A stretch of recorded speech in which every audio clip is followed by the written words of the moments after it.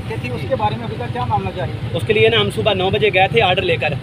जो हाईकोर्ट ने मुसदका आर्डर कल प्रोवाइड किए थे ना वो आर्डर आज लेकर हम तमील के लिए कि इनका अजरा किया जाए और हमारे मीर मोहतरम को रिहा किया जाए। सुबह नौ बजे गए तो उस वक्त सुप्रीम का सुप्रीटेंडेंट और साथ में डिप्टी सुप्रीटेंडेंट ने कहा कि पाँच बजे सात सब की रिहाई है।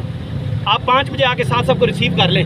लेकिन जब हम रिसीव करने के लिए गए हैं, उस वक्त गवर्नमेंट ये मोहम्मद अरबी के गुलामों का कट देखकर फिर वो बुखलाट का शिकार हो गया कि फिर साथ की इतनी मकबूलियत। उन्होंने ये समझा था कि साथ को यूँ नजरबंद रखते हुए हजूर की उम्मत को उनसे जुदा कर देंगे। लेकिन ये मोहब्बत, ये लाजमा मलजूम है मोहब्बत साथ की मोहब्बत दीन के साथ है और हमारी मोहब्बत साथ के पीछे है। और इंशाल्लाह बिल्कुल आपकी बात आप बात एग्री हूँ।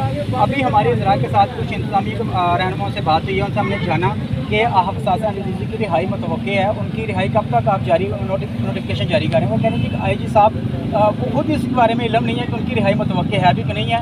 90 परसेंट चांसेस हैं, और इसके अलावा एक केस है 2018 का, वो उसको मजाज बनाकर उनको अंदर रख सकते हैं। सुप्रीम कोर्ट के अहकाम की रोशनी के बाद इनको अंदर रखने का कोई अहकाम नहीं थे हाई कोर्ट। हाई कोर्ट अदालत आलिया का हुक्म था, मैं अमेंड करता जब आपकी बात को लेकिन वो आँख से काजल, आई जी बेचारा भी गुलाम है।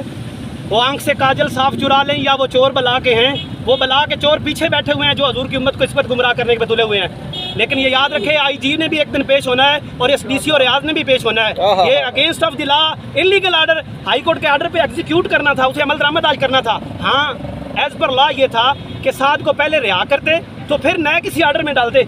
जी बिल्कुल। अभी अभी के क्या फैसले- वाकई अभी वो क्यों रिहा नहीं कर रहे? क्या उनके क्या अहकाम हैं? वो क्या कहते हैं? जेल इंतजामी क्या कहते हैं? अभी वो कुफर के वो नगर दले वो राज़ी नहीं हो रहे हैं इनसे वो धोबी का कुत्ता ना घर का ना घाट का ये मोहम्मद अरबी की नमूज पे खेल कर अपनी मशीयत बचाना चाह रहे हैं। इस तरह मशीयत नहीं बनने जा रही।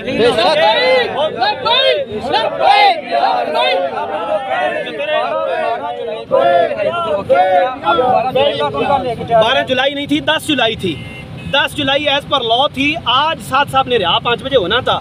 बिल्कुल। जो प्रीवियस नाइन्टी डेज़ का आर्डर आज एक्सपायर हो चुका है। अब वो एक्सपायर हो गया तो अब वो रिहा क्यों नहीं कर रहे? आपको वो क्या कह रहे हैं? अभी हाई कोर्ट का हुक्म उन्होंने पाँव तले रौंद का एक नया ऑर्डर दे दिया कि नब्बे दिन के लिए सात को हमने मजीद एक्सटेंड कर दिया जो कि हाई कोर्ट ने दिया डीसी और रियाज ने कर दिया दोबारा। ये कर सकते हैं। साथियार पे उतरे हुए। नहीं नहीं नहीं नहीं कर सकते। बिल्कुल भी नहीं कर सकते। जब तक पहला एक भी बात है आप मोहब्बत से सुने कि जब तक एक पहला ऑर्डर अमल दरामद इम्प्लीमेंट नहीं हुआ।